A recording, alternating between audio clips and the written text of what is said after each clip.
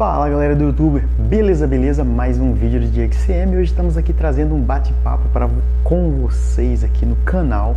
Lembrando sempre, né, se você não é inscrito no canal, se inscreva, ative o sininho da notificação para ficar por dentro aqui das ideias do bate-papo do canal de XCM. Beleza, galera? Hoje vamos falar aqui da Suzuki Vestron 250.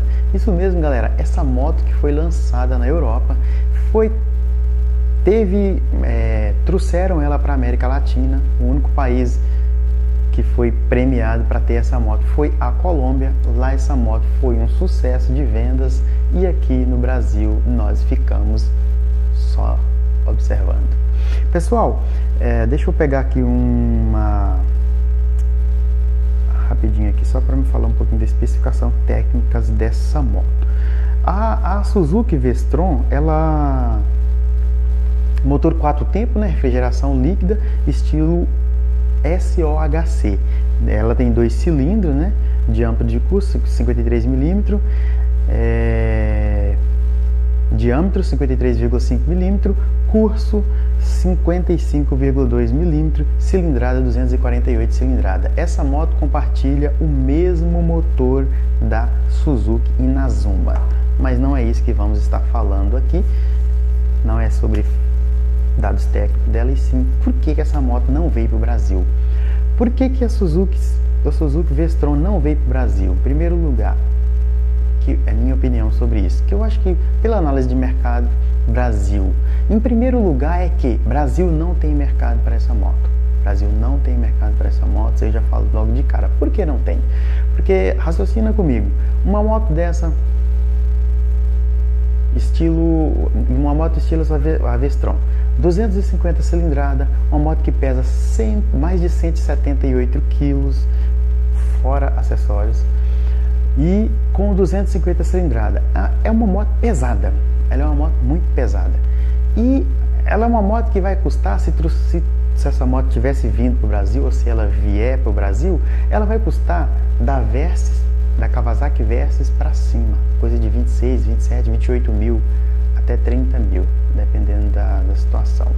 E como todos nós sabemos, a Suzuki não tem interesse em trazer moto para o Brasil. Eles não querem, eles querem ganhar muito, eles querem vender moto de, de alta cilindrada que, que consiga faturar muito. É, o fato da Suzuki já ter no Brasil uma moto de uma marca de baixa cilindrada, que é a Haoju, que é uma parceira da Suzuki, que é uma marca do grupo Suzuki, na verdade, né, que é sucesso de vendas é, líder na China e hoje presente no Brasil também, que vende vários modelos aí, inclusive um dos mais vendidos, que está no top 10 das motos mais vendidas, no estilo City urbano aí, né, que é a DK160.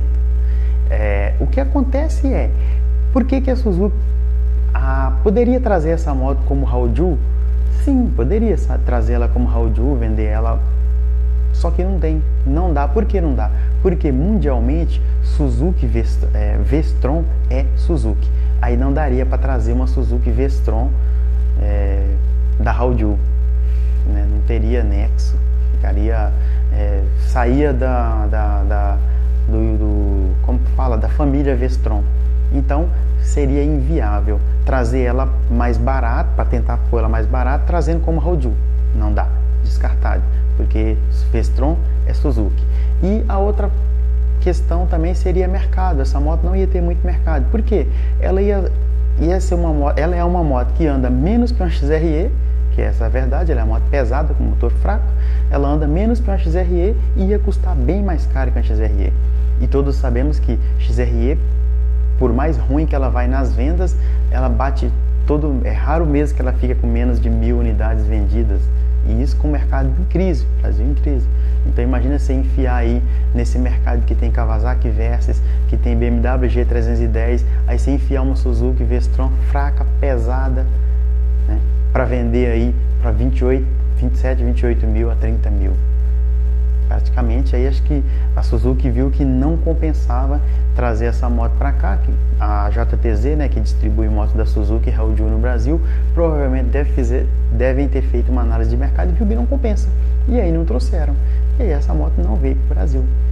Eu acho que é, essa, essa é a minha opinião, que eu acho que não pegaria também, nem se tivesse trago. É uma moto linda, eu acho ela linda, é muito bonita, mas infelizmente não veio para o Brasil, não pegou. Aqui quem gosta da Suzuki aí ficou só na vontade. Um exemplo tá aí a Inazuma que veio para o Brasil, não vendeu praticamente nada. A Inazuma que é uma moto, é uma street né, de classe da China, lá na China, que vende muito da Haoju, e no Brasil não pegou também, que é a Suzuki Inazuma 250, não foi. Mas é isso aí, galera. Mais um bate-papo aqui no canal falando sobre o Suzuki V-Strom 250 que ficou só na vontade. Não veio para o Brasil. É, gostaria muito de ver essa moto de perto, né? Quem sabe um dia vem na Colômbia encontra uma rodando por lá ou algum colombiano que vem viajando por aqui a gente se encontra aí nessas estradas, né? Mas é isso aí. Um grande abraço a todos. Valeu, valeu e até o próximo vídeo. Fui.